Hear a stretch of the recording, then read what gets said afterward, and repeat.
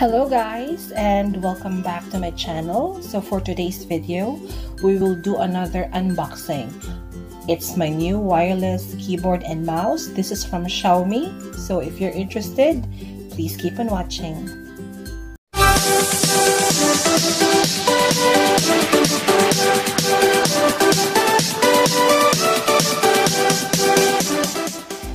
So guys, andito na siya. Dumating na siya at last kasi hinihintay ko talaga to dumating para ma-unbox natin. So this is Xiaomi Mijea wireless keyboard and mouse combo. So nabili ko to sa Shopee. So if you're interested, just check the link down the description box and start natin itong i-unbox. So I'm so excited for this one. So while I'm doing this unboxing by the way guys, kwento ko lang, this is really funny kasi add to cart na to way back January. Pero hindi ko pa siya binili kasi wala pa akong laptop noon. So, in-add to cart ko na lang to kasi gustong gusto ko talaga to guys. Super. So this is the box by the way. So simple lang siya. Yung keyboard lang. And this is the likod. Walang ano, andar. Pero ano to? I'm not sure what's that. Now, continue with my story, guys.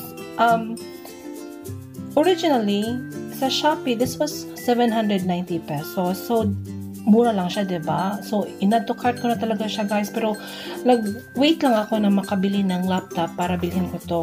So, nung nagka-laptop na ako, pagbili, supposedly, bibilhin ko na to, guys, na-shock ako kasi, um, from 790, it went up to ano, 1,067. So, nag-message talaga ako sa ano, nag-message talaga ako sa seller. Tinanong ko talaga ba't nag-jump from from 790 pesos to 1,067. Sabi pa lang, sabi ng ano, sabi ng seller, baka daw hindi yung hindi store nila yun or hindi shop nila yun, baka daw ibang shop at baka daw um, ibang product yun kasi hindi daw sila magpapresyo ng 790 nito. So, talagang sumakit yung headrest ko dahil. So, talagang may message back to sila. And, good thing, kasi, um, nung na, nagustuhan ko to, nag-screenshot ako guys kasi pinakita ko sa mga Barbie friends ko para to ask their opinions about this. So, may, may screenshot ako guys sa original price at saka ano, the seller. So, I'll go and um, post a picture here so that you will believe me na 790. So, in sinend ko that dai ang ano, screenshot. Sinabihan ko talaga yung seller, store nyo to or shop nyo to, di ba? And then, nag-reply yung seller guys, nag-ask ng apology kasi daw, um, nagkamali daw sila ng presyo sa, sa, sa product na to. Which is, I understand guys, kasi nung 790 pa, wala pa siyang ano, wala pa siyang ano, sold item. Wala pang bumili nito. So, nag 700, so 790 pa yon Nung may, nag, may bumili nito isa, doon na nag doon na nag-change yung ano price to 167 1067 so I understand naman baka daw baka talaga nag-honest mistake yun and if you go and check the link guys if you will see dalawa dalawang item lang yung ano sold nila. One is for that person at ito yung pangalawa. So yun. So yun yung ito yung mouse guys. Wait. And sa kabila dito yung ano keyboard. Let's see.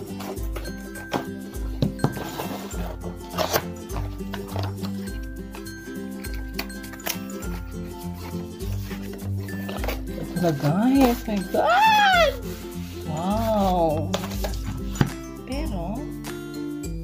Sure guys, ha?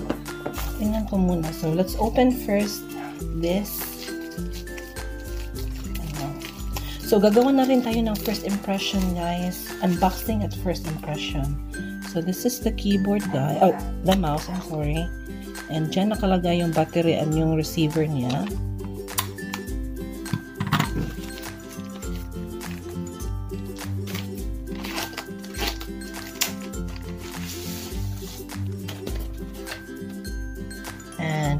Ito yung ano niya guys ito yung keyboard niya. O, diba?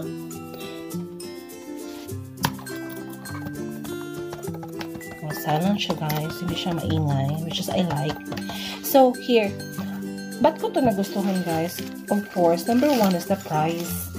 Uh, hindi naman siya mahal for 1,067. Hindi din siya mura. So, average lang siya. And then, yung pangalawa is the design. Because if you can see guys, if you notice, talagang ano lang siya, super sleek lang, very simple, plain lines lang talaga siya, and if napansin niyo, if napansin niyo guys, ano lang siya, talagang walang branding na nakikita niyo na nagsumisigaw na Xiaomi.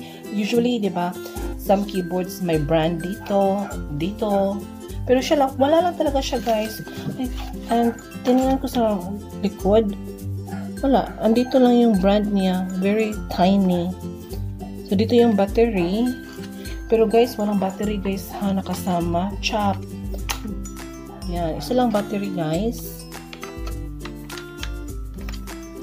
And also, ang, ang nagustuhan ko dito guys is that dalawa lang yung battery kailangan. So, isa sa keyboard, isa sa mouse. ba? So, naka-save tayo. So, if, pero guys, if bibilhin nyo to, might as well bumili na lang rechargeable batteries para naman we can save Mother Earth. and lastly, talagang bet na bet ko yung kulay guys. Super super matte lang siya. Matte black siya guys. Hindi siya super glossy. Tingnan nyo. So yan. Yan yung nagustuhan ko dito guys. So this is for 1,067. Again, the link will be on the description box if you're interested.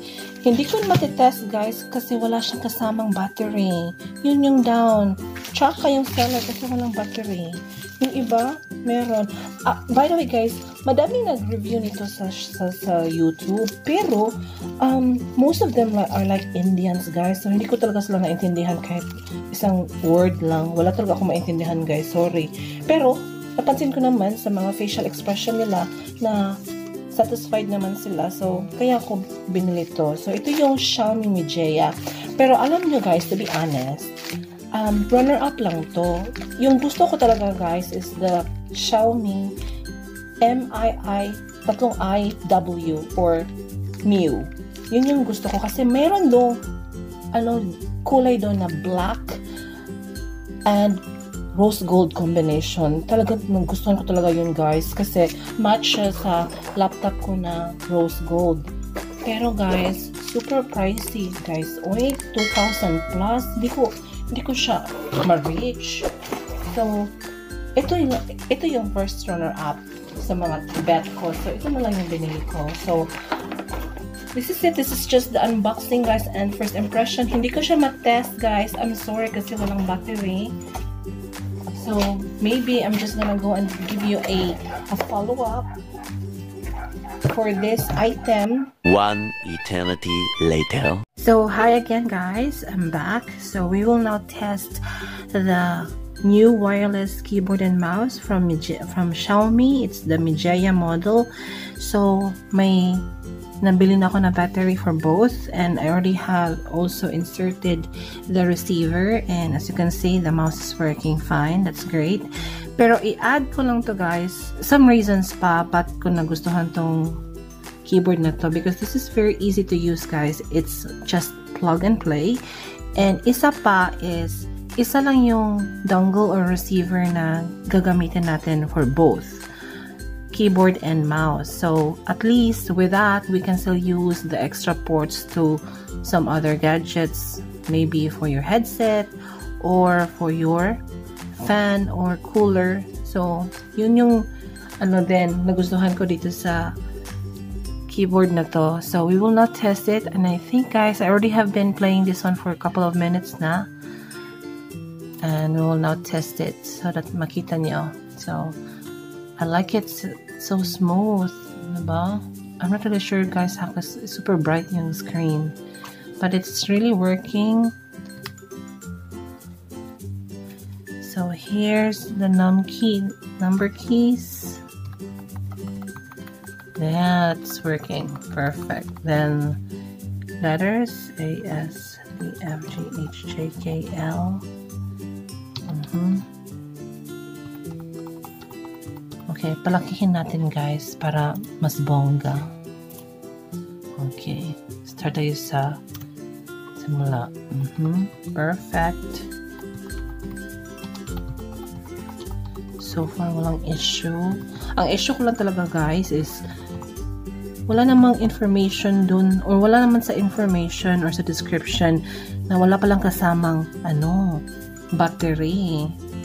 Nag-assume ako which is also my fault. Dapat nag-message na lang ako sa ano sa alert just to be sure. Yun.